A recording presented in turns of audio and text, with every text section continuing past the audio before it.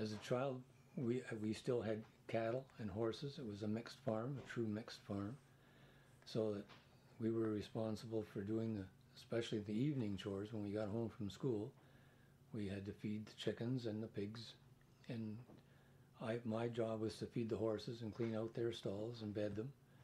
The other brother did the did the pigs and the chickens, and another brother did the did the cows. In the morning, my dad did most of the chores. We didn't have to go out in the morning. Oftentimes in the summer or in spring, we grew asparagus at the time because the cannery at St. David's canned asparagus. So it was our job as kids to get up and cut asparagus before we went to school.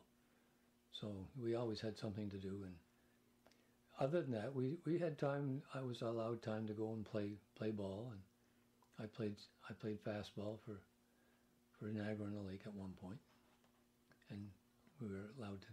My older brothers weren't that keen on playing ball, but I was the younger one, so I guess I got off a little easier.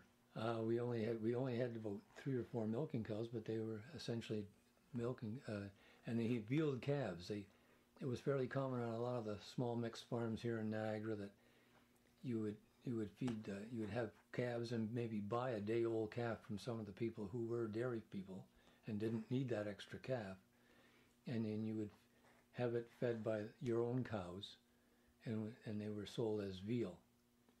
And uh, during the Second World War, we we made milk, we made butter, and sold butter in the city of Niagara Falls, and we had an egg route, and we had to go to market with with our mother each each Saturday, and so this is another another job that we all did throughout the family as it became your turn to to be doing these sorts of things. But it it was a true mixed farm. It didn't become straight fruit until in the in the late 50s, I would say.